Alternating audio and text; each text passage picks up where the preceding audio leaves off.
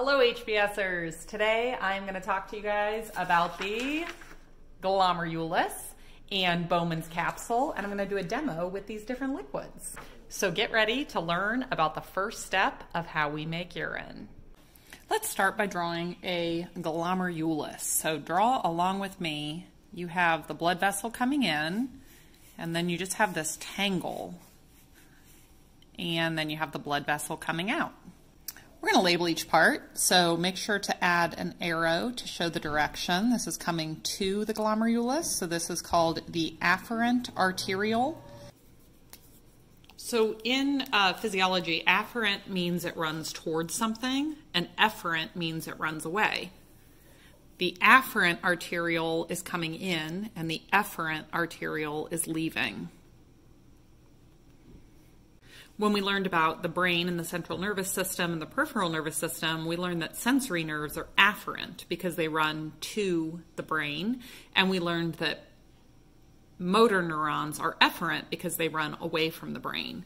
So our afferent arterioles run to the glomerulus, and our efferent arterioles run away from the glomerulus.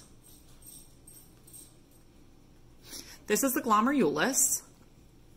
It's a tangle of blood vessels, specifically arterioles, and they have very thin walls so that materials can diffuse through them. Now draw yourself a little cup-shaped structure and color it yellow. This is Bowman's capsule. The glomerulus sits down in the Bowman's capsule, and the materials that are being filtered out of the blood from the glomerulus are passing into Bowman's capsule. So I'm going to draw arrows showing that the materials are coming from the glomerulus into Bowman's capsule. This is the site of filtration of a nephron within the kidney. So this is in the cortex of the kidney. And what's happening is materials, especially water, but also some urea, waste, electrolytes, glucose, some medications, all of those things are being filtered out of the blood at the glomerulus and going into Bowman's capsule. Once they go into Bowman's capsule, they um, become part of what's called the filtrate. That's why I've colored it yellow because the filtrate is basically like pre urine. It's not yet urine, it needs to get a lot more concentrated. Most of what goes in is not going to come out as urine, it's going to be reabsorbed, but this is sort of pre urine. Okay, next up I have some containers for you right here in my kitchen. These contain different amounts of liquid. And I want you to think about which one might represent what. So I have five different things. They are not correctly labeled right now. One of these represents the amount of blood passing through the kidneys per minute. One of them represents the amount of urine that the bladder can hold on average. One of them represents the amount of urine we make every day if we're healthy and hydrated. One of them represents the amount of urine we make per minute, and one of them represents the amount of filtrate we produce per minute by a healthy kidney. Think about which one might represent which, and then I'll show you. I'm going to start with my biggest volume. This is how much pee I made yesterday. It's not my literal pee, but Approximately 1,500 milliliters, or one and a half liters, is how much urine a healthy person should make in one day. This next one I think might sort of blow your mind. It blows my mind. This is how much blood filters through the kidneys every minute. So how much is passing through the kidneys, being cleaned every minute. And this is about 1,200 milliliters. So think about that every minute, all day long, every day. Actually, all of the blood in your body passes through your kidneys about 40 times every single day. Here's the next one. This is about 400 milliliters. It's a little less than two cups. This is the amount of pee that the typical bladder can hold before we really need to go. So this is a pretty full bladder. Although when I researched, it said we could hold about twice as much at night. That's definitely not the case with me, but maybe you can. So somewhere around 400 milliliters, and my students, this one's not on your handout, I just thought it was cool. Compare that to the 1500 we make a day. That means most of us are gonna pee four times a day. I pee way more than that, so maybe my bladder holds less or I make a lot more pee. Now I'm gonna go to my smallest amount. I did a little quarter teaspoon. just a milliliter. This is about how much pee we make every minute. So every minute, our kidneys are making pee just a tiny bit, and it's just dripping from the renal pelvis down the ureters into our bladder. If we didn't have a bladder to store it, we would have to pee about every 10 to 15 seconds. Kind of like when you have a UTI, it feels that way.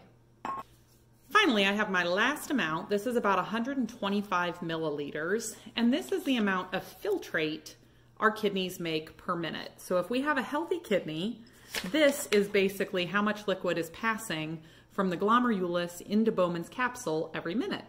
But we're not making this much pee per minute. I showed you how much pee we're making per minute. It's way less. And that's because most of this filtrate is not going to become pee. It should be way lighter. Most of it is going to go right back into the blood and it'll just go through the cycle again. So let's think about why we pee.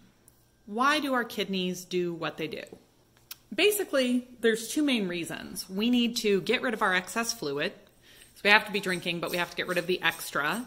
And we have to balance our electrolytes. So if we have too much sodium or chloride ions in our blood, it can be dangerous. And if we have too little, it's dangerous.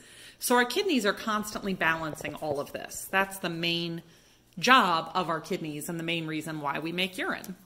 There are a couple things, though, that never should come from the glomerulus into Bowman's capsule. They should never leave the blood in the first place. the most important things are red blood cells. If those are coming out, we have a problem. And the other huge thing is protein. Those two things just stay in the blood. They're not filtered out at all. 100% should stay with us. There's another thing that should be completely reabsorbed. So it does get filtered out, it does go into the filtrate, but then we reabsorb every bit of it because it is precious, and that is glucose. So you should not have sugar coming out in your urine. If you do, it's a sign of diabetes or kidney failure because our bodies consider glucose to be a precious resource. So that should stay in our blood, gets reabsorbed completely. And there are two other things that are actually mostly reabsorbed. The vast majority of these does stay in our blood, and that includes our salts, our electrolytes. Those mostly stay in our blood, just a small percent comes out, and water. Most of what goes through into Bowman's capsule is going to get reabsorbed right back into our blood so we don't dry out like a raisin.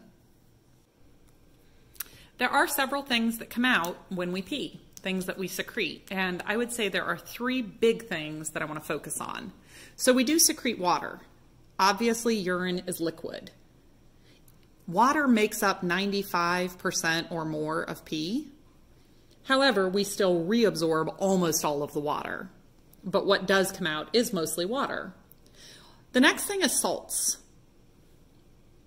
So these are electrolytes. These are things like sodium and chloride, Technically, chloride's not a salt, but it is an ion that makes up salt. These make up less than 5% of our urine. So they're dissolved in our urine, but we keep most of the ions in our blood. The last one is urea. Urea is also known as cellular waste. This is the stuff that we really, really, really have to get rid of.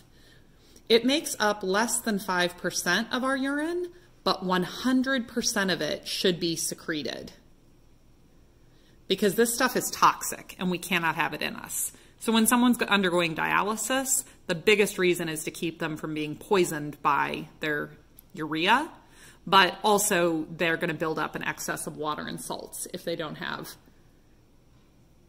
dialysis. The final thing, though, that I want to mention is medications do come out.